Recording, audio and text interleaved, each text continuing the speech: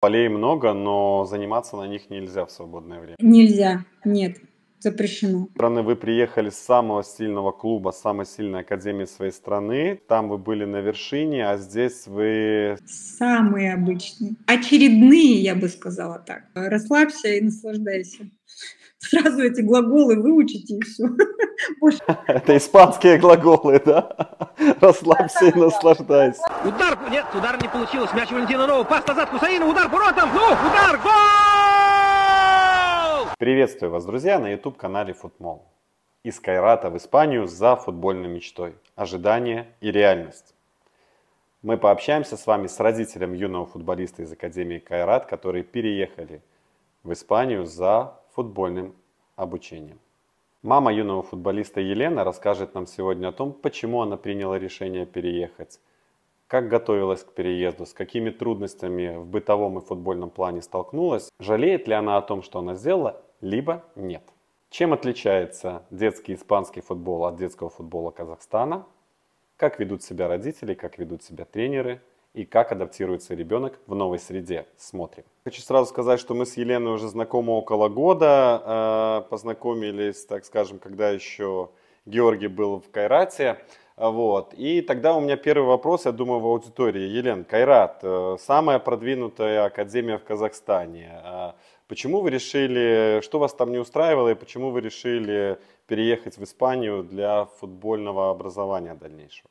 Именно для этого и поэтому и решили, что образование футбольного, к сожалению, в Казахстане должного, на должном уровне, на котором, чтобы можно было им, им зарабатывать деньги, к сожалению, нет. Угу. То есть э, Кайрат это высшая точка в Казахстане, ну, один из топовых клубов, да, если не сказать самый топовый на данный момент.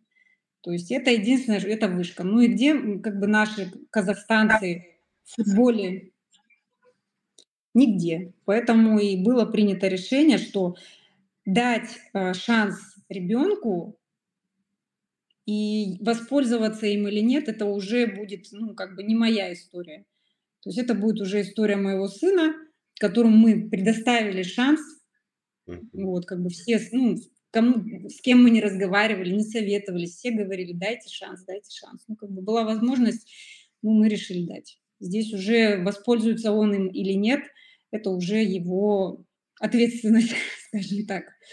Значит, вы решили шанс этот дать. После того, как вы решили, так вкратце, потому что тема очень интересная, ко мне каждый день буквально с разных стран родители пишут, все спрашивают про европейский футбол, про Испанию, конкретно про Барселону. Мы чуть-чуть попозже проговорим по саму Барселону. Вы приняли решение, с чего вы начинали, ваши шаги, еще будучи в Казахстане? Самый первый шаг – это съездить и показать. Потому что почему? То есть вообще было принято решение уйти из Кайрата, допустим, ну вообще в принципе, да, уехать из Казахстана. Я не говорю про уйти из Кайрата, я говорю уйти из, э, уехать из Казахстана, потому что э, были двоякие мнения, почему я нашла вас, да, то есть э, мы родители со своими амбициями, мы видим какие-то ошибки, говорим, все плохо. Uh-huh. Показываем, спрашиваем мнение у тренеров, они говорят, да вы что, все хорошо есть надежда, там, есть какой-то талант, есть упорство, есть какие-то навыки, да. А, допустим, когда мы связались с вами, я в первую, как бы, первая же моя была просьба оценить адекватно. То есть я отправила какие-то видео, я что-то там написала, да, мы с вами разговаривали и так далее. То есть я просила адекватной оценки, потому что мы, как родители, мы, конечно, прям, ой, что там, это не, не ребенок, это золото, просто кусок золота бегает по, футбол, по футбольному полю, да. Вот, то есть, и поэтому было, естественно, принято решение поехать в Испанию и просто его показать. Ну, просто вот походить по клубам, и вообще он нужен или нет, потому что здесь, по сути, таких жориков на один квадратный метр футбольного поля, поля миллион таких вот специалистов, как он. Поэтому мы поехали, показались, в принципе, как бы там, в третью лигу нас сразу брали, во вторую лигу нас взяли, в первую лигу, естественно, мы не попали, ну, потому что, скорее всего, это какое-то было, первое, это отсутствие языка, второе, психологическое давление. Потому что здесь э, немножко мы сами, возможно, передавили, поэтому как бы, получили то, что получили. Но ни капельки мы не жалеем о том, что мы не попали в эту первую лигу, потому что все-таки пройти этап адаптации надо чуть-чуть пониже. Угу. Чтобы ребенок имел какие-то э, возможности э, чуть-чуть, как бы сказать, э, посвятиться. Ну, то есть, потому что ты, когда ты приходишь в первую лигу, ты придешь, э, то там ты вообще как бы ну, чуть ниже, а тут надо быть на голову, на две, на три выше всех остальных, чтобы тебя кто-то увидел вообще. Я аудитории поясню, о чем вы говорите. То есть у вас была недельная стажировка, вы были на просмотре в разных клубах и дошли до просмотра в Академии Дам. Это дочерний клуб Академии Барселоны, который, вот, по сути, играет от высшей лиги, про которую вы говорите да, и была тренировка у Жорика в этой команде, это был уже конец стажировки, и по итогам этой стажировки тренер сказали, да, парень хороший, но нужен язык и адаптация, и нужно время. Значит, вы приняли решение, поехали на недельную стажировку. Кстати, я хочу сказать для аудитории, именно у нас, э, у меня на канале есть э, интервью с футбольными э, агентами из Барселоны, с Кариной Шуметой и с Михаилом Юношевым. Так вот, с Михаилом как раз-таки познакомила меня Елена вот, э, скажем так. Вы были на просмотре, вы по, побыли в разных клубах, и вам предложил клуб второй лиги, это клуб Конгресс, они готовы были вас взять в команду. Ну да. Окей, сколько времени у вас заняла подготовка документов в Казахстане на выезд? Примерно со всеми справками, прям с самого начала, где-то там, месяца полтора. На самом деле все очень быстро э, делалось, потому что, во-первых, я, у меня не было времени совершенно этим заниматься. Естественно, я обратилась, делегировала эту часть проблемы на человека, который просто взял деньги и все сделал. Грубо говоря, то есть через помогатора все это сделали, он собрал документы, я дала доверенность. Мы все очень быстро все очень правильно с первого раза сделали, потому что большие ошибки иногда бывают, что какие-то вещи там неправильно оформляешь, тебе приходит отказ, ты опять подаешь. То есть, чтобы вот этого избежать, сократить время, свои нервы и самое основное сократить время, да, свое, сэкономить. Вот, поэтому мы обратились к человеку, она все сделала. То есть все прекрасно прошло, но самым главным пунктом было это аренда квартиры на год.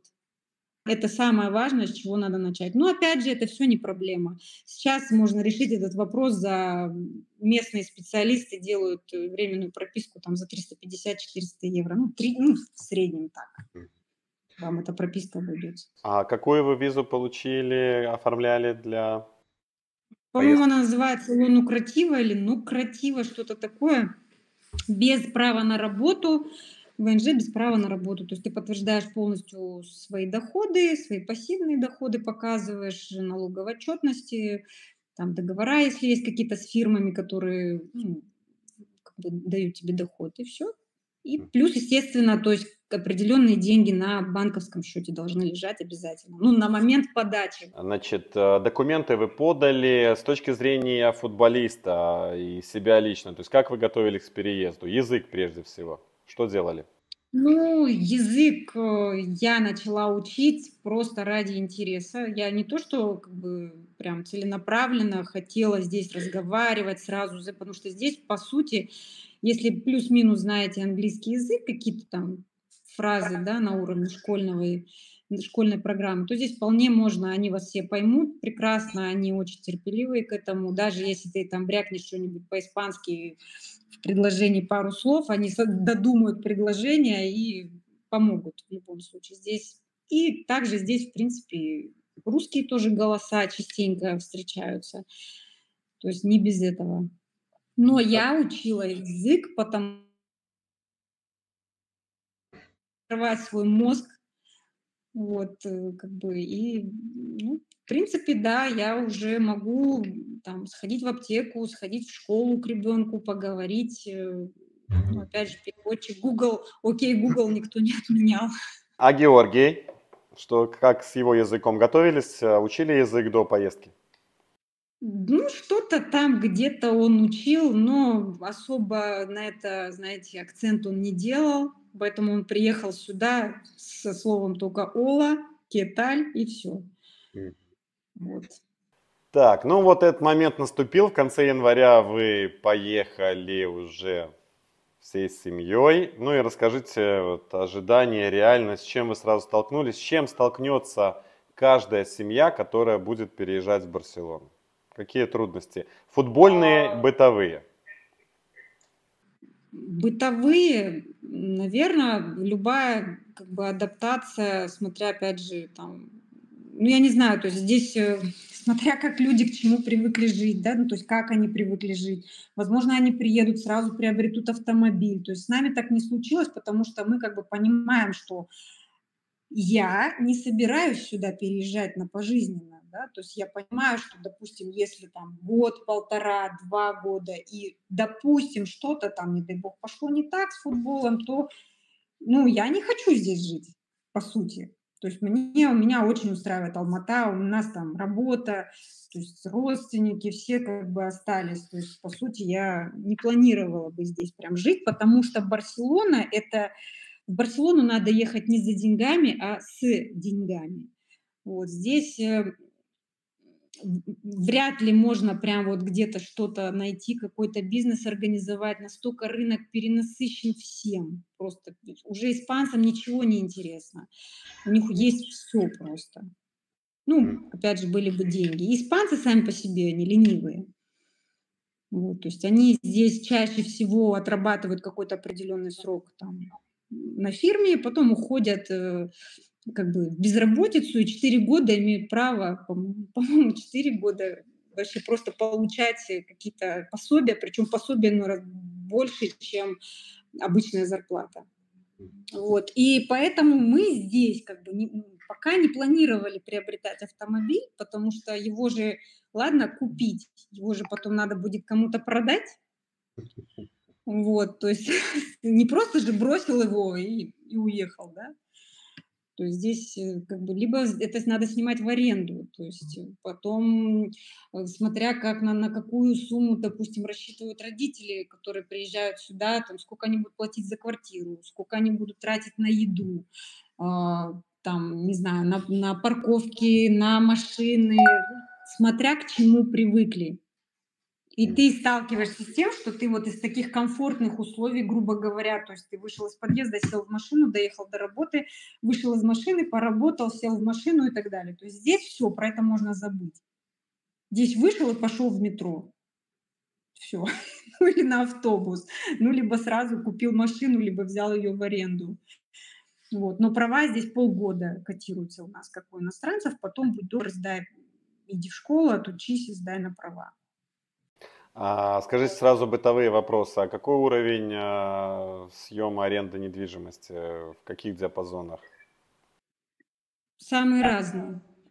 Вот все зависит от района, все зависит от э, внутренности, то есть от техники, от э, комнатности, от этажности, есть ли лифт, как далеко от центра, возле моря, не знаю, где-нибудь там в спальном районе. То есть все зависит от географии, где ты находишься. То есть если это брать центр Барселоны, то 2000 евро – это нормальная цена для съема квартиры.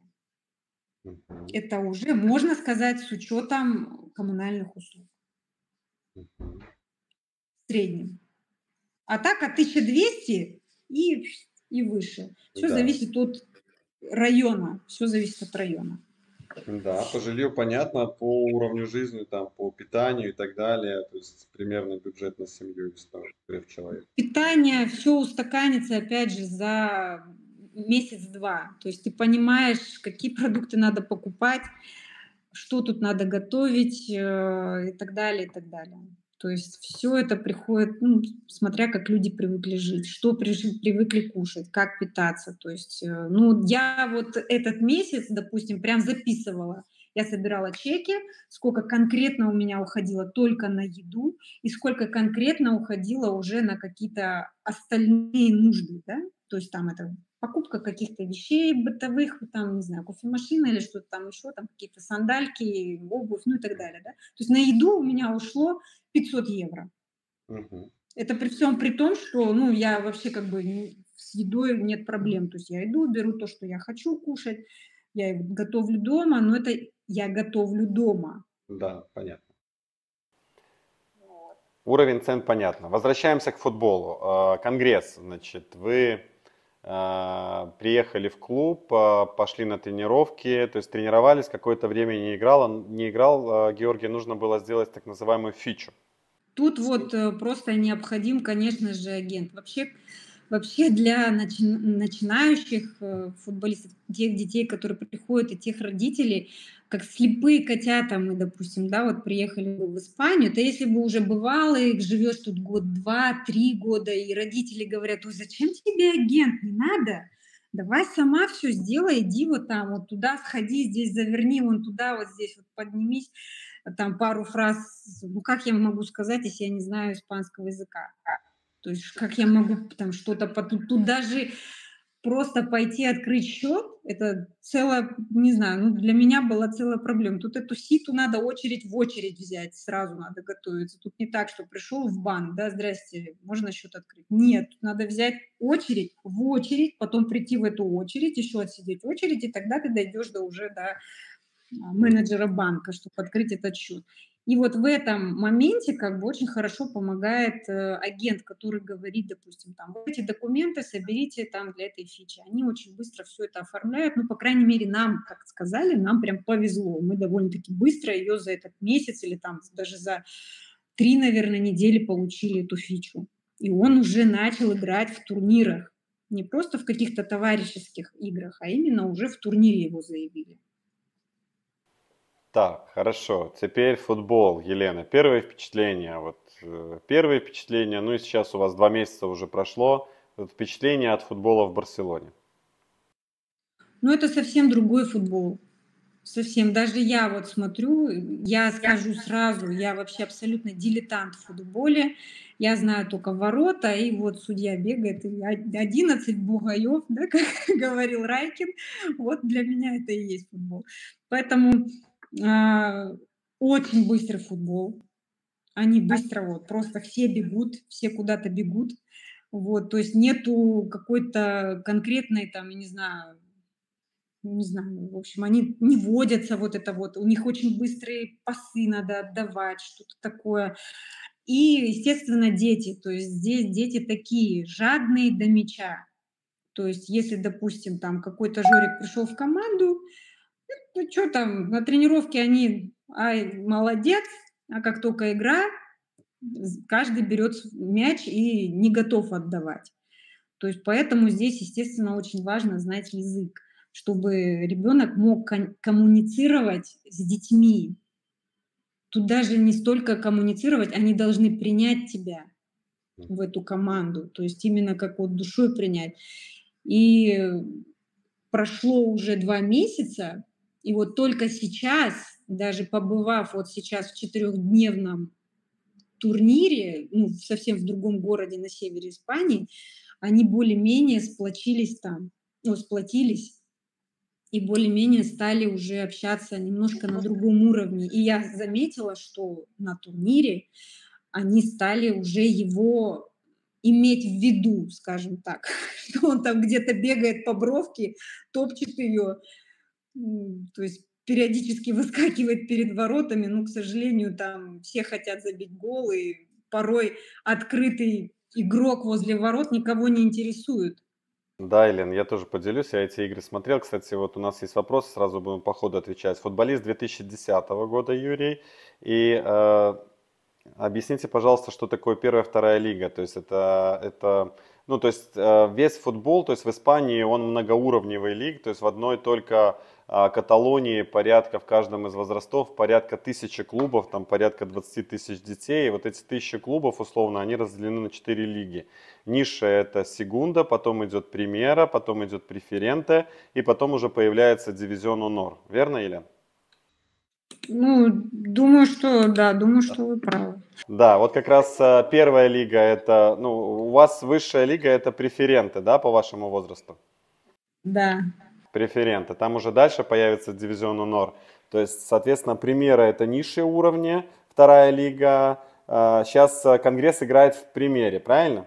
Да, во второй лиге. Во второй лиге. Есть еще низшая лига Сегунда, то есть там играет основная масса команд, То есть это лиги, в которых играют. Вот в частности, вот я приводил пример в канале, в телеграм-канале статистику давал, что а, возрастной а, категории 16-19 лет, там порядка 600 клубов играет в Каталонии в Сегунде, порядка там 300 играет в Премьере, порядка 100 играет в преференты и только два дивизиона по 16 команд в дивизион Онор. Это как бы там, где играет Барселона, Испаньол и так далее.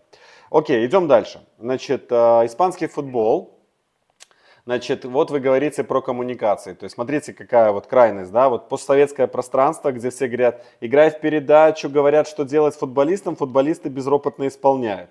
Испания это другая среда, здесь каждый ребенок, он этот мяч э, пытается взять и никому его не отдать, даже вот в этом возрасте, 10 год. И футбол очень индивидуальный, то есть да, он очень быстрый, все завязано на быстрых индивидуальных действиях, но все играют вперед, все играют очень быстро. И вот по тем играм, которые я видел э, Жорика, это как раз вот первая проблемная зона, вот эта адаптация, понять испанский футбол, он совершенно другой. Ну да, да, так и есть. Совсем другой.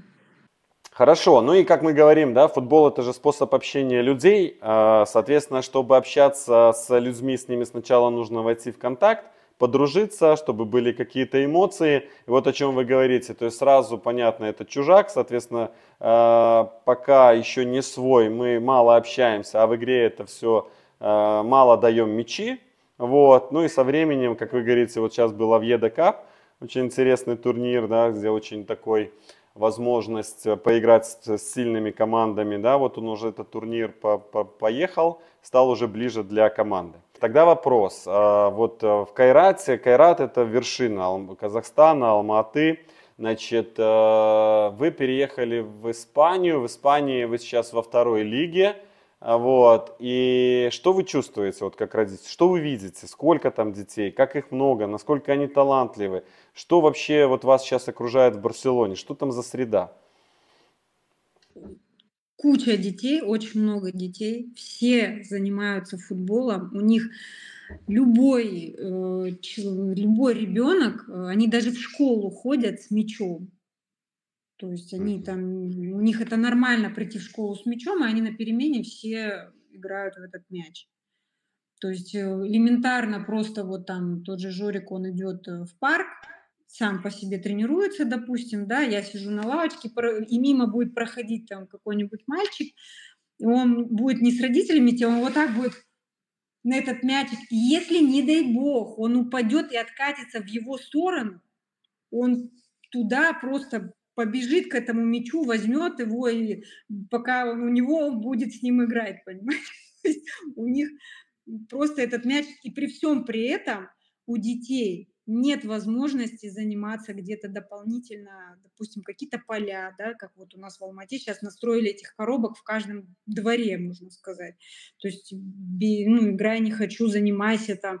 Здесь такого нет вообще, здесь все поля закрыты, все поля муниципальные, на них нельзя заходить.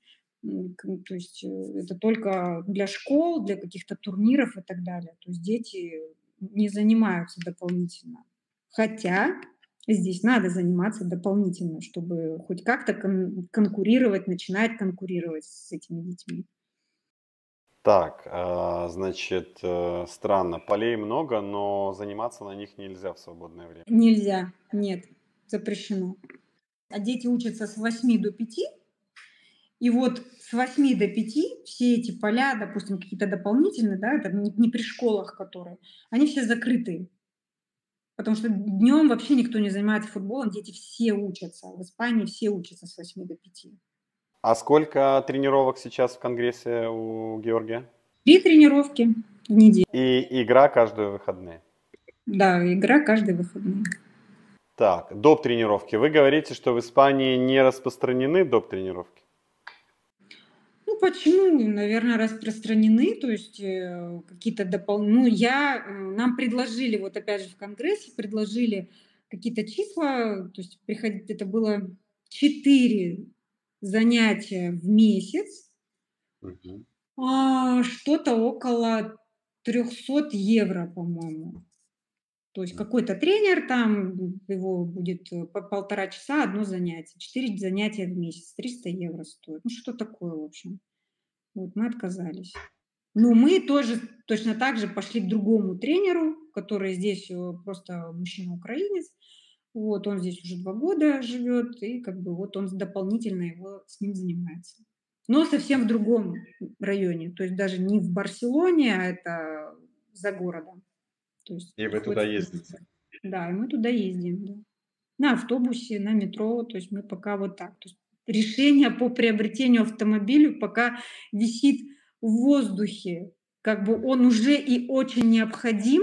Это как чемодан, знаете, без ручки. И с ним тяжело, и без него сложно.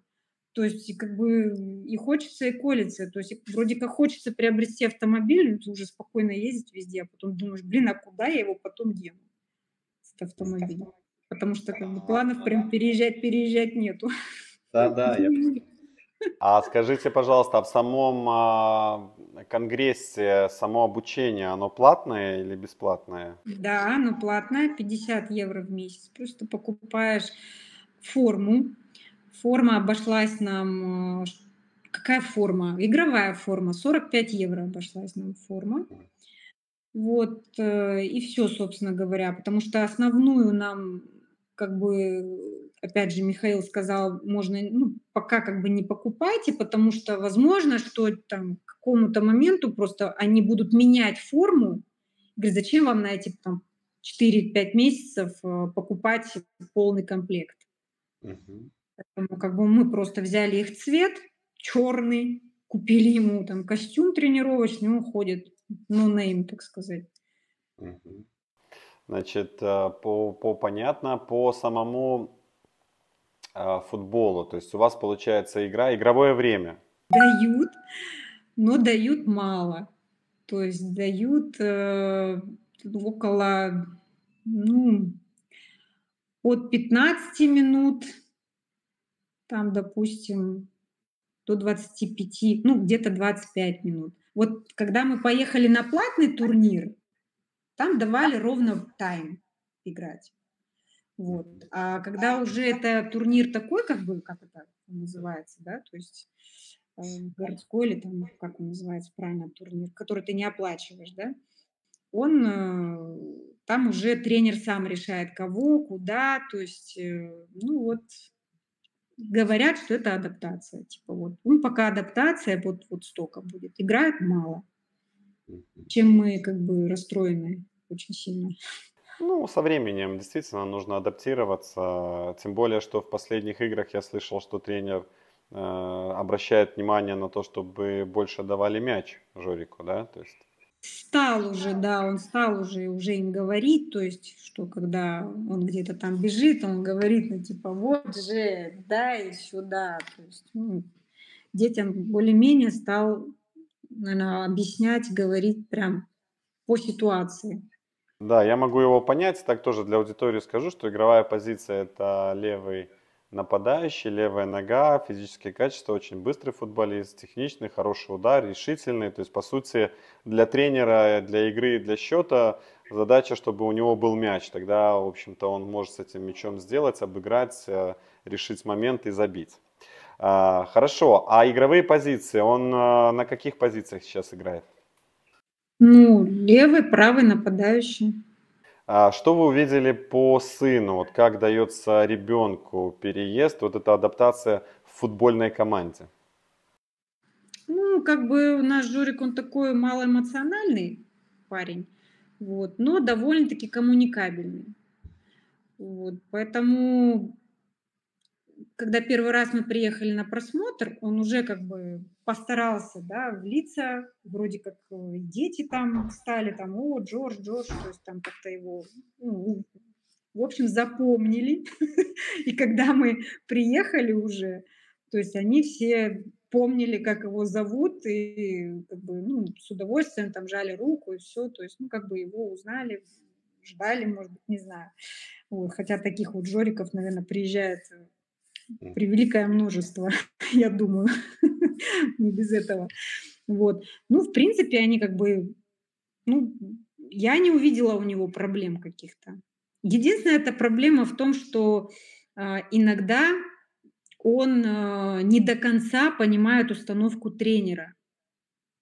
Вот, то есть он, а, большинство, конечно, он понимает, да, что он говорит, всё, но иногда бывают сложные какие-то схемы, и у него вот именно в этом проблема, что нужен, еще раз возвращаюсь, нужен язык. И не тот, который, скорее всего, ты учишь, чтоб сходить в магазин и купить там хлеб и молоко, да, а именно вот этот специальный язык, специализированный, уже футбольный, когда он тебе говорит: "Ты идешь на этот фланг, потом туда переходишь, там бежи беги быстрее". То есть, ну, это вот эти как бы слова, они совсем другие. Не то, что ты учишь. Да, футбол очень быстрый, потому что я вижу вот в Испании самый быстрый футбол, потому что, ну, он очень-очень быстрый. И как раз, э, вот я вижу его спортивную адаптацию в том, что он как раз привыкает к скорости этой игры. Это первый момент. И второй момент, это касаемо вот всех постсоветских стран. А, значит, э, акцент делается, то есть футболисты в мышлении играют с мячом, если мы говорим про атакующих игроков. А в Испании очень большой акцент делается на игру без мяча, на выбор позиции, на передвижение без мяча. И прежде всего игре в обороне. Даже вот крайние нападающие при игре в обороне, я вот слышал подсказы тренера и понимал, что он от него хочет. Это действительно вот это очень важно. То есть нужно постоянно думать, постоянно крутить головой, постоянно анализировать с мячом без мяча свою позицию и понимать, где в каком месте тебе нужно находиться. Вот это главное отличие испанского футбола. Да, и там, что очень часто бывает так, что ему приходится спускаться к воротам, вообще туда. Вот, то есть и бегать, в общем, приходится очень много. Очень быстро, очень много. И вот Да. И при том, что счета такие мне очень нравятся: 5:5, там там 7:0, то есть очень много голов забивается. То есть все играют в атаку. Вот такого, как развороты, контроль мяча, может быть, где-то там на уровне Барселоны это есть, Академии Барселоны, но весь футбол, который я вижу, э, испанский, в нем вообще нет контроля мяча. То есть максимально вертикальная игра, максимально вверх, максимально на, на самой высокой скорости. То есть и вот это проблемная зона для наших игроков, которые привыкают играть в этот позиционный медленный футбол, и когда они попадают в эту а, ситуацию, у них идет кругом голова. Да. Я вижу, смотрю за Жориком в игре, я понимаю, что он хочет играть, но он не понимает как. То есть он, он, он просто крутит головой и не понимает как, что я должен делать сейчас. Тут просто даже такие ситуации, что он, допустим, дает, э, как это правильно там, дает наперед игроку, а он просто не понимает, что он от него хочет. Или, допустим, Жорик бежит и думает, что он сейчас ему пас даст э, на ход, а он ему просто в зад дает мяч и все. То есть, ну, Мгм. вот, вот такие ситуации. Да, мы, видите, с вами как-то общались и говорили о том, что с одной стороны вы приехали с самого сильного клуба, с самой сильной академии своей страны, то есть там вы были на вершине, а здесь вы стали одними из... Самая конкурентная среда, то есть самые сильные дети, самые... Стали самые обычные. Самые обычные. Очередные, я бы сказала так. И чтобы теперь вылезти из этих очередных, нужно, надо тренироваться. Надо тренироваться, надо пахать, надо заниматься дополнительно, потому что без этого просто невозможно. Без этого ты просто будешь жить в Испании, ну и ребенок просто будет ходить на футбол, как все дети в Испании, в принципе. И как бы мечтать о чем-то высоком тут уже не придется. Да, Елена, вы так сказали, самые обычные, но в то же время вы стали в реальности. То есть, наверное, тогда, будучи в Казахстане, вам казалось, что вы, вы были в какой-то иллюзии, а сейчас вы находитесь в реальности. Да, то есть иллюзия была, что сын какой-то там талант, что все говорят, давайте, езжайте. То есть, ну, вот, вот в таком плане. То есть, естественно, амбиции-то у родителей, они же растут. То есть э, ты понимаешь, что о, ребенок там в чем-то талантлив, надо его туда вести срочно, быстрее. То есть, когда ты приезжаешь, тут, по сути, ты ну, обычный человек, очередной футболист, который приехал в Испанию, причем приезжают сюда не ради футбола, как пишут в документах, обязательно надо писать, что ты не приехал сюда ради футбола. Вот. Поэтому, ну, не знаю, в общем. А тренер подсказывает во время игр, а, что делать?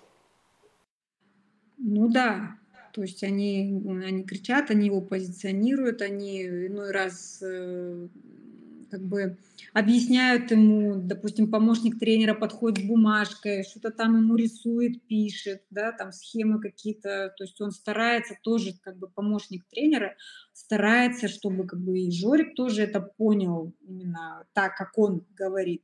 Но и чаще всего, то есть Жорик, он такой как бы исполнительный, то есть то, что от него требует, он делает. Вот, возможно, это как-то еще помогает ему именно с тренерами, что он их слушает. Ну вот я с первой игры смотрел, вот крайне нападающие, тут уже для аудитории тренеров и родителей, так скажем, наверное, больше отцов. А вот крайне нападающие играют в отборе мяча всегда ниже линии мяча и доходят до своей штрафной площади. Вот первые игры я смотрел, э, как это все делается. То есть потерял мяч, стоит, смотрит игру. И ему что-то тренер говорит, он не понимает, и я вижу, что ему подсказывают, чтобы стать на ту игровую позицию, что, где нужно, чтобы закрыть эту зону. А, Елен, а давайте немножечко в образовательный процесс переключимся. Школа, футбол футболом, все понятно. Школа, значит, я, насколько знаю, в Испании есть два варианта обучения. Есть английские школы на английском языке, есть испанские школы да, на испанском языке. Вы какой вариант выбрали для себя? Испанский. То есть у нас, а, у нас не бесплатная школа, это полугосударственная школа, мы платим 160 евро в месяц, а, но там сейчас его обучают каталанскому языку. Вот, то есть там даже не испанский, а именно каталанский.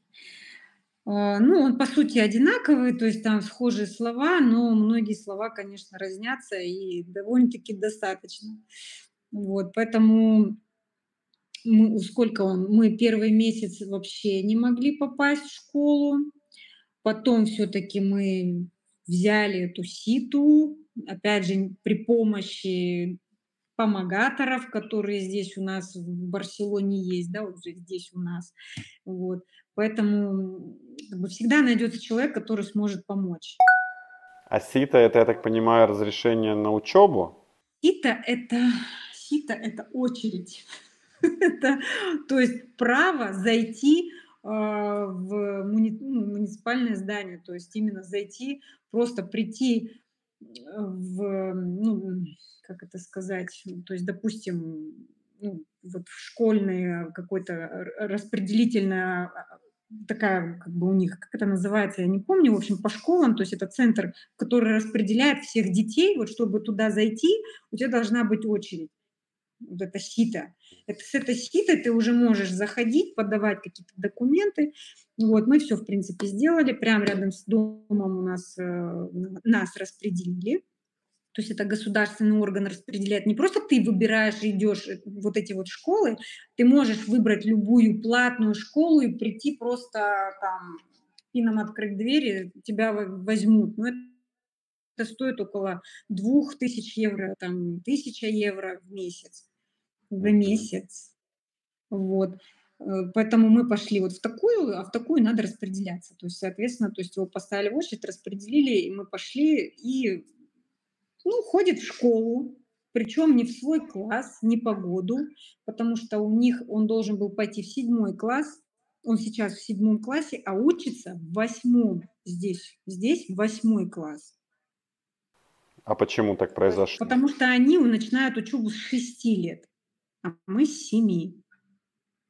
Вот дети у нас ходят в Казахстане с семи, а здесь все дети ходят с шести. Поэтому мы по возрасту попали в восьмой класс. Соответственно, как бы, ну, программа совсем, да, другая, то есть это уже конец восьмого класса, а у него еще только начало седьмого, можно сказать, да, то есть первые две четверти седьмого класса. Соответственно, нам в конце года предложат, нас аттестуют, нас не могут не аттестовать, нас аттестуют, но предложат остаться на второй год. Причем здесь как бы вообще нет таких понятий, ой, фу, ты на второй год остался. Нет, наоборот, здесь как рекомендация, и они, ну, как бы здесь э, нет такого, как это сказать, позора, что ты остался на второй год. То есть в любом случае, скорее всего, нам придется остаться на второй год, чтобы пойти уже тогда в восьмой. А в классе все испанцы? Да, там, ну, я, не, честно говоря, не знаю, но есть иностранцы другие, то есть, но русскоговорящих у него в классе нет. Обучение на каталанском, все на каталанском. Он уже начинает понимать язык. Домашнего задания не задают, с ним на разговаривают, их, допустим, забирают вот какие-то предметы, да, их просто идут, собирают всех, в один отдельный класс заводят и обучают их каталанскому языку. То есть они там просто разговаривают. То есть у них система такая обучения, они ничего не задают, на, они просто в него вот вдалбливают разговор, разговор, разговор. Как вы знаете, с маленькими детьми, они же рождаются, они не знают, на каком языке они разгов... будут разговаривать. Вот то же самое здесь такая же система. Ну, вроде он говорит, что уже начинает их понимать, что они как бы хотят от него. То есть они говорят, он уже это делает. А подскажите, вот как сам а, Георгий, вот два месяца, что вы за ним наблюдаете? В каком он таком психоэмоциональном состоянии находится? Стабильным. Он стабилен. Я переживала больше за него, то есть, что он там может где-то, ну, потесть немножко, да, то есть, что там, там его не понимают, здесь его не понимают, кто-то что-то от него постоянно требует, тренер на там что-то ему говорит, дети ему что-то говорят, в школе ему что-то, еще и дома, там, давай учи.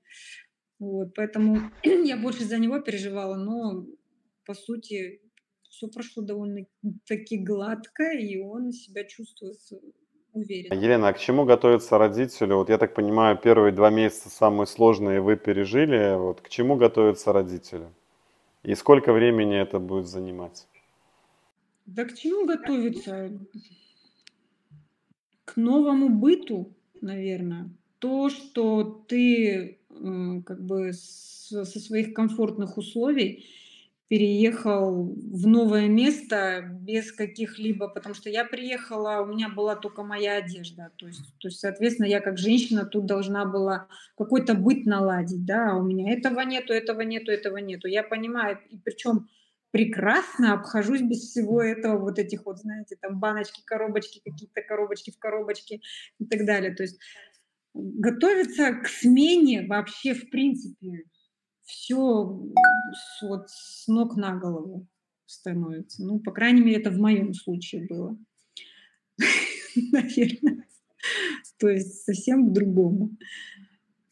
Ты уже здесь этот город не воспринимаешь как какой-то план пройти все культурные мероприятия, там, сходить в это, туда, здесь погулять, там надо обязательно сфотографироваться, это сюда сходить.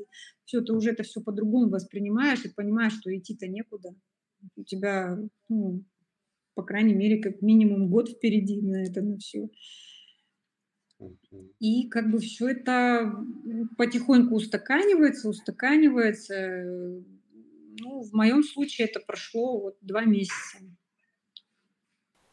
Сейчас вы уже так, адаптировались на базовом уровне, уже пошло, пошла перестройка. Да, то есть я понимаю, как у меня день начинается, как он заканчивается, и, в принципе, все планы на день, то есть они уже стабильные. Нет такого, что надо бежать туда, потом надо бежать здесь, туда надо успеть, еще его на тренировку надо отвезти, ну и так далее, и так далее. А скажите, пожалуйста, про испанцев, про среду окружающую, вот э, что вы видите? То есть вы говорите, испанцы, да, там ленивые, хорошо, но с точки зрения человеческих качеств, вот взрослая среда, детская среда, футбольная, школьная. А, как, какие э, наблюдения? Дети все открытые. Они все, они никто не зажатый, они все открытые. Они почему-то думают, что ты говоришь абсолютно на испанском языке. Они с тобой говорят, даже не собираются там что-то где-то подстраиваться. Какой язык ты там знаешь? Сейчас я подумаю. Нет, он лупит на испанском языке так же, как и взрослые. В принципе, все. У меня не было ни одного конфликта с испанцами. То есть э, им повезло. Шучу. Нет, ну на самом деле, то есть все довольно-таки отзывчивые люди, если ты там начинаешь с ними разговаривать, они прям вперед из песни что-то тебе рассказывают, ты их останавливаешь, говоришь, пожалуйста, помедленнее, потому что как бы я, ну, более-менее могу говорить, но с их скоростью понять просто нереально, это самый быстрый язык в мире. Так, чтобы уж на секундочку. Вот, поэтому довольно-таки все доброжелательные, миролюбивые, никто не хочет ни в какой контакт вступать даже в метро. Если держишься здесь и нечаянно зацепишь его ну, рукой, он ее уберет, как будто там, не знаю, его ошпарило. То есть там, они стараются даже не облокотиться, не задеть, пройти вот так, просочиться, чтобы вообще никого не зацепить. Меня не трогайте вот так. Ну, большинство таких. Большинство. Да. А родители испанцы, вот э, посещают ли они тренировки, как ведут себя на да. играх? Ну, посещают на тренировки, я бы сказала, редко. Вот. А, ну, в основном, я думаю, потому что они работают в это время, да, заканчивают рабочий день, там какой-то быт, они не ездят на тренировки, забирают детей с тренировки, очень часто я вижу. Вот. Тоже все отзывчивые, все довольно-таки дружелюбные, как бы приняли очень хорошо. То есть, э, ну, по крайней мере, когда я говорила, что мой там, испанский очень плохой, они говорили, наш русский еще хуже, поэтому, поэтому твой испанский хороший, типа, гордись. Вот. А, на игры ездят семьями кланами, то есть они болеют. Нас в Кайрате приучили вообще не болеть. Мы там тихо где-то в трубочку что-то там в точек покричали Кайрат чемпион, да, и все, и сидим дальше. Тут же нет, тут все болеют, приезжают с едой, с камерами, родственники, все друг друга обнимают, целуют. И что самое, самое приятное, что если, допустим, какая-то команда проигрывает, и когда она уходит с поля, все аплодируют стоя, ну, грубо говоря. То есть они приветствуют эту команду, и там родители из э, конкурирующих команд, они там руки жмут, там смеются, хохочут. У них вообще это совсем другое отношение к игре, что игра, в конце концов, а не война, как у нас, да? У нас все, турнир – это война. Надо, собираемся все как на войну. Поэтому здесь очень приятно ну, вообще как бы вот эта вся атмосфера очень приятная. А, и тогда и дети в игре по-другому себя чувствуют, да? Видели ли вы, чтобы испанцы боялись играть или там боялись ошибиться? Вот что вы видите? Нет, нет, никак, вообще никак, никаких там ошибок. Тут он дошел до ворот, пнул куда-то в космос. Все ха-ха-ха-ха-ха. Там, да. ну, смешно, да? У нас там все уже выкопали могилу похоронили, закопали все, особенно тренера. А тут нет, все посмеялись и как бы забыли, грубо говоря. Да, там тренер типа что ты сделал, а потом, а, типа, такой. А тренеры себя ведут в играх. Э, насколько важен для них результат, как вы видите, для тренеров? Ну, я думаю, для любого важен результат. Для тренера тоже важен результат. Но он потом, конечно, пишет там, наши ребята молодцы, они боролись до конца, там, показали классную игру, нам сегодня просто не повезло, ну и так далее. То есть, э, как бы они всегда идут как бы, в контакт обязательно, в группу, вот это все пишут. Вот, то есть, ну, естественно, там в конце игры они там все обнимаются, все что-то говорят, говорят, ну, Иногда бывают какие-то ситуации, что тренер просто выходит молча с поля и садится в машину и уехал, потому что проиграли 7-0. Да, я видел эту игру. Что сказал тренер? Он вообще с нами не разговаривал. Я даже вот так встала. Думаю, главное, просто пройди мимо, даже не здоровайся, я все прощу. Я вот, знаете, когда смотрю испанские детские игры, ну, разных возрастов, мне всегда поражает вот этот нерв, эмоции, эмоции все, все вот прямо такая радость от забитого гола, дети радуются, все родители, тренеры, то есть очень эмоциональная такая игра, это везде так? Да, конечно, это везде так. Это, это в принципе как самые святые каноны, то есть это радоваться, радоваться, наслаждаться, расслабиться, просто и все. Это самое же любимое слово. Расслабься и наслаждайся. Сразу эти глаголы выучите и все. Это испанские глаголы, да? Расслабься и наслаждайся. А видели ли вы такие ситуации, как, допустим, после игр родители там что-то э, высказывали своим детям там в негативном ключе? Вообще. Вообще такого нет. Я не знаю, как дома, может быть, они там что-то говорят. Есть эмоциональные родители, я одного даже сняла. Он там и присаживается, и встает. И он вот, ну давай, да нет же ты вот сюда. И вот это вот, вот это вот, ну как вот мы любим, да. Нет, нет, да вот туда иди. Я так задолго за ним наблюдала, потом сняла его на видео, в конце концов их команда проиграла. И он такой, пошел в ту э, команду к родителям, похохотал вместе с ними там, то есть те, которые их просто выиграли там 5-0 или что-то такое, да, с ними похохотал в результате, и они вместе ушли под, под барабаны с этого поля. Ну, вот так было на турнире. То есть, несмотря на то, что они проиграли, он пошел в ту команду. Да, у нас там все перерезать друг друга готовы по итогу. Я говорю, там война, здесь игра. Все, там война, здесь игра. Да, это так. Именно играет, и все получают от этой игры удовольствие, и все понимают, что сегодня ты выиграл или проиграл, но все равно, если бы не было соперника, у тебя было, не было возможности играть. Конечно, да, все благодарят друг друга за игру. Ну и, соответственно, вот вопрос у нас, можете ли сказать, что испанские дети более свободные и расслабленные, когда играют в футбол? Да, они вообще ни о чем не думают чаще всего. Просто они играют в мяч, в футбол, главная цель забить гол, отобрать этот мяч, ну и, соответственно, и довольно крепко ругаются. Я вот посидела, поболела там с, с детьми с нашей команды. Думаю, некоторые слова, то есть надо же учить не только культурную испанский язык, еще и не культурный, чтобы понимать, куда тебя направили. Вот. Ну и довольно-таки крепко, как бы это, они прикладываются, прям не стесняются. А вот еще интересный, вот расскажите эпизод. У вас вот э, в Казахстане ваш супруг, он так достаточно был вовлечен в процесс подготовки Жорика, обсуждал с ним ошибки, игры. А как сейчас происходит процесс? Э, влияет ли он на вот эту составляющую игру или отдал все на откуп тренерам? Вообще никак он не влияет. То есть он его просто только поддерживает, потому что в любом случае поддержка отца, она просто необходима, для, особенно для мальчика.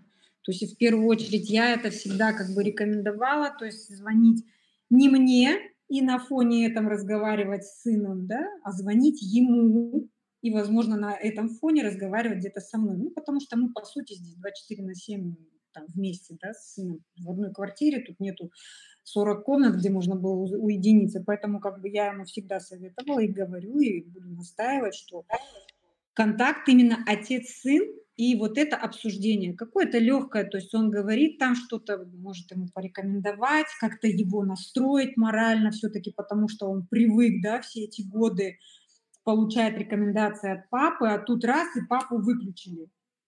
Как это? Ну, это же нереально, это же невозможно.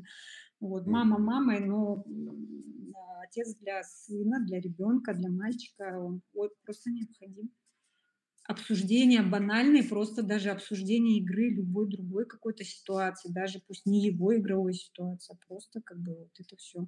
Но уже такого гнета, какого-то такого участия уже нету. То есть, ну, во-первых, он уже не, ну, не маленький мальчик, ему уже как бы 13 лет, и он уже здесь на него повлиять уже очень сложно. Особенно вот так удаленно повлиять как-то да, там, чтобы он где-то играл, где-то выкладывался, давай беги, быстрее беги. Ну, тренера хватает на самом деле. Угу. И я вот э, тоже, знаете, момент интересный. Э, вот из этой системы постсоветской, как я называю, из подпалки, когда футболисты приезжают в такую свободную среду, многие не находят мотивации, как играть без палки. Ну, может быть. Ну, у нас как бы такой ситуации не произошло. То есть хоть мы как бы с супругом обсуждали, что этот момент, как бы я говорю, вот он теперь будет без тебя, этой палки уже рядом не будет, да, какой-то, да, там, что вот, ой, поспать бы ей мне поспать или что-то еще там, да, какие-то, вот. То есть, э, говорю, он будет сам. То есть и все будет зависеть только от него больше ни от кого. Здесь на самом деле так, так и есть. То есть здесь все зависит только от тебя, от твоего желания, от твоего рвения, твоих каких-то усердных, я не знаю, тренировок, может быть, дополнительно. То есть вот это все чувство меча развивать в себе там и так далее, и так далее. То есть э, это все только навык. Знаете, как я определяю для себя, определяю футболиста с юного постсоветского пространства в, в испанских командах по выражению лица. То есть да. испанцы, да, они все радостные, улыбаются, они на лайте, да, а вот я даже на Жорика смотрю, он же все равно, он серьезный, сосредоточенный, то есть цель стоит, тут семья пошла на такое вот серьезное движение, он наверняка чувствует эту ответственность, да, и вот он приехал вот как, как будто работать. А не чувствуете ли вы, что все-таки нужно потихонечку, вот нужно ли интегрироваться вот этот испанский менталитет, либо вот оставить вот э, работать, нужно тренировки, допы и так далее. Как вы сейчас считаете? Как бы в любом случае тренировки нужны, но он уже начинает немножко по-другому воспринимать какие-то неудачи. Мы над этим работаем на самом деле.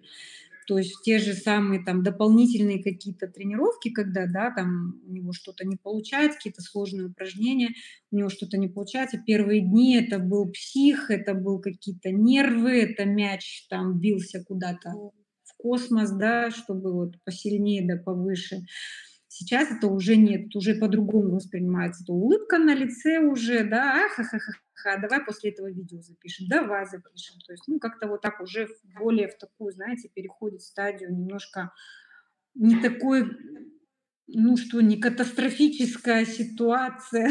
То есть все равно он меняет свое эмоциональное отношение к своим ошибкам скажем так, он уже работает над этим, то есть мы как-то где-то стараемся, потому что раньше я была тоже сильно вовлечена в это, как бы, что мне надо там хронометраж тренировки, мне надо, чтобы ты вот здесь быстрее делал, вот здесь это, и меня когда выключили тоже в один момент, вот этот подопом, который сказал, все, Елена, отключитесь, просто отключитесь, ничего не улыбайтесь, сидите, улыбайтесь. Я все, я делегировала все туда, на тренера, чтобы он уже с ним там занимался, и я уже не, не влазила эмоционально туда. Потому что ну, все да, равно в нас надо, давай быстрее, тут не добегаешь, давай беги туда, давай сюда, почему ты тут не доделываешь, надо делать. Поэтому, а здесь такого уже как бы нету. Но вот те примеры, которые вы приводите, это же фокус на минусах. Возможно, да. Поэтому я э, взяла за правило, я снимаю его игры, допустим, да, то есть каждый раз я снимаю его игры, и все его удачные моменты как он обвел, как он в корпус сыграл, не знаю, как он там, блин, принял мяч, да, то есть там какие-то ситуации, да, я все эти моменты ему скидываю на WhatsApp именно положительные, как ты вот здесь смотри, как классно, и вот здесь смотри, как классно, и вот здесь. То есть я прям акцентирую на этом внимание, ему отправляю, чтобы он не только как вот все плохо, вот это плохо, вот это, вот это, вот это плохо, а именно как хорошо, а вот это классно было а все остальное там потом обсудишь с другими людьми, но не со мной. Да. Елен, ну и такой вопрос уже в завершении. Э, за эти два месяца были ли дни, когда вы вообще жалели, что вообще во все это ввязались? Ну, естественно, это адаптация. Конечно, я жалела, что я в это все ввязалась, я себя назад возвращала, выходила из тела, назад ставила себя туда, куда я себя считаю. То есть я обычно вообще как бы не домосед, не какая-то там, да, супермама с поварешкой, с полотенцем, да, то есть я совсем другой человек, вот, а здесь я получилась, ну, как бы вот, как это, как это их называют, не помню, в общем, дома, быт, семья и так далее, и так далее, то есть это немножко не то, что не про меня, я, конечно, ничего не могу сказать, да, но здесь прям вот этот вот ежедневная рутина, день сурка, каждый день он немножко угнетает. Вот. Но вот сейчас, спустя два месяца, вы не жалеете о том, что это сделали? Все сделано так, как надо. Я себя ощущаю на том месте, на котором я есть. То есть э, я понимаю, что я делаю, какую пользу приношу. То есть здесь вот именно как бы надо, знаете, какую-то рутину найти, что ли, чтобы вот это от всего вот вот этого постоянного, вот этой постоянной суматохи от какой-то, чтобы был четкий какой-то план, то есть что-то делаешь и так далее, тогда это как-то балансируется, и ты себя в норме ощущаешь. Да, ну и что бы вы, может, хотели вот, э, вот тем родителям, которые смотрят, которые тоже думают о том, что пойти по вашему пути, что вы можете, какой совет дать? Пробовать все, пробовать. Надо приезжать, надо находить людей, которые вас э, могут, допустим, провести по... На самом деле это очень здорово, что вот мы связались с агентом, и он в первый день, то есть когда мы приехали в первый раз, он нас провел по всем клубам, более-менее показал, что-то объяснил, рассказал. Потому что когда ты приезжаешь сам, как говорят, да ты сама давай, езжай, все сделаешь. Это ерунда это совсем другой город. Это, это тут, тут вообще с тобой никто по-русски говорить не будет. А зачастую даже по-испански будут говорить по-каталански. А английский вообще в каких-то вот этих муниципальных заведениях запрещено. Вот, то есть ты приехал в Испанию, говори на испанском. Вот. Ну, так же, как везде, в общем, во всех странах, чушь греха таить, да? Вот. Поэтому надо пробовать, надо находить агента, надо связываться, ну и готовиться к тому, что если мы когда приехали, да, это самый был главный момент, когда мы приехали, нам сказали, ну все, приезжайте. И мы такие, и как мы теперь с этой информацией будем жить? В смысле, приезжайте. Как это все бросить? Работа, да, быт, дом, животные, в конце концов, у тебя есть в квартире, да, какие-то, там, я не знаю, ближайшие, там, я не знаю, родители, да, ну куда, как вот все, приезжайте. То есть вот эти моменты готовьтесь к тому, что вам скажут, приезжайте. Вот именно готовьтесь к этому слову, к приглашению, что готовы ли вы будете приехать, все бросить и приехать. Или это просто было, а, ну вот нас похвалили, ну да, классно, продолжай дальше у себя на родине, ну, грубо говоря. То есть если ехать, то уже быть готовым к тому, что вас пригласят. То есть не так, что снег на голову упал, ты, тебе сказали приезжать, а ты такой, да не, не, я не приеду, я еще не готов. Ну, зря деньги потратил. На просмотры, потому что это все платно, на поездку, на самолет зачем? Лучше бы съездил с, с семьей и отдохнул, ну, грубо говоря, да, в удовольствие, а не пахал бы неделю с ребенком. Какой вы для себя период э, определили? Год, два, для того, чтобы понять, получается, нет? Ну, я думаю, что год э, и какой-то мини-срез в середине года. То есть понимать, идет ли прогресс, то есть э, как бы двигается ли там он в нужном направлении, да, или он топчется на одном месте. То есть понятно, что тот тренер, который тебя взял в команду, он доволен тобой, потому что когда ты к нему подходишь, ну как, что, расскажите, о, я, я доволен, мне все нравится, еще, о, топ, все нормально, мне очень нравится. Очень нравится, почему-то до 15 минут играет. Адаптация? Ну, адаптация. То есть мы... И для нас это как бы дико. Вот, поэтому год, в середине года как бы что-то надо посмотреть, где-то попробоваться, и дальше даже не ради того, чтобы куда-то перейти, а просто попробоваться. То есть кто-то как бы оценит ли его выше, то есть э, нужен ли этот игрок, ну и так далее, и так далее. А в случае, если у него будет получаться, он быстро адаптируется, начнет прогрессировать, э, вы опять-таки, я так понимаю, с помощью агента планируете дальше идти по этой лестнице, да? Да, конечно. Тут э, как бы уже пройдет время, он адаптируется там, к языку, к пониманию, каким-то, ну, вообще в целом, да, то есть он адаптируется, и мы дальше будем уже думать. То есть, опять же, хватит ли средств, чтобы здесь все как бы содержать в должном порядке, потому что, ну, как бы средства не маленькие ежемесячно уходят на это, на все. как бы мы там ни хотели, но здесь ничего не дешево вообще, вообще. Если говорить там вот, э, ну вот с точки зрения там агентов, назывались суммы там в год, там готовьте родители там 50 тысяч евро, 40 тысяч евро. Вот вы как родитель приблизительно какие бюджеты годовые видите такого проекта? А, в смысле со всеми расходами? Да, вот полностью вот, со всеми расходами. Приблизительно в эти же деньги. Э, В эти же в какие? Эти Ну, же. 40, 40, 50 тысяч А, евро. это сколько получается в месяц? 12, 6 тысяч Ну, евро в месяц? 4, это 3-4 тысячи евро в Ну, месяц. примерно, наверное, да. Наверное, примерно так, да. Но А, оно того стоит, чтобы понять, а стоит ли дальше напрягать человека, гробить здоровье, я бы сказала, да, то есть это ежедневная нагрузка там на сердце, на суставы, на, ну, на все, на психику, да, то есть вообще, то есть профессиональный спорт, это, ну, сами понимаете, да, то есть это не шуточки какие-то там, то есть это надо еще здоровьем потянуть на это, на все.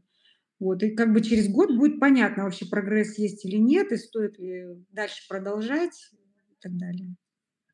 Слушайте, а вот последний вопрос. Э, Я очень, мне все, вот как только Барселона, каждый второй родитель мне задает вопрос про Майорова, про Майорова. Вы вообще Майорова видели в Барселоне? Да, мы тренируемся вот дополнительно на одном поле, частенько его встречаем. Хороший мальчик. Приятно. А, Елена, мое мнение такое же. Я всегда, то есть такой девиз, лучше жалеть о том, что сделал, чем сожалеть о том, чего не сделал. Поэтому я всегда с очень большим уважением отношусь к людям действенным, которые выходят из зоны комфорта, у них есть мечта, цель, и они готовы ради, ради этой цели действовать. Поэтому вам мое такое большое уважение. Вот, очень рад за вас, за Жорика, за то, что у него такие возможности появились.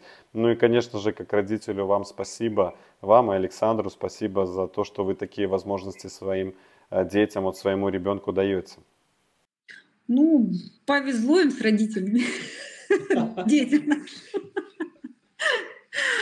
Господи, а нам повезло, что мы, наверное, вообще как бы решились на такое, господи. Это да, это правда, это решиться. Ну, это так по мне. Есть люди легкие, которые вообще встали и уехали. Есть, которые ведут оседлый образ жизни. Это я. Я привязана там к месту, где там я родилась. Как говорится, где родился, там сгодился. Знаете, вот это все. Это все про меня. Вот. А муж у меня такой, да, езжай, все, все там купишь. Вот так.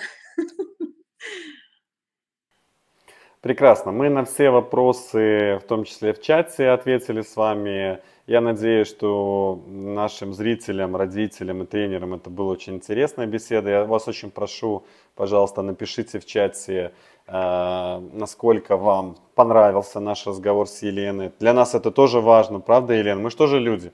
Да, я надеюсь, что это я нормально себя тут вела, адекватно.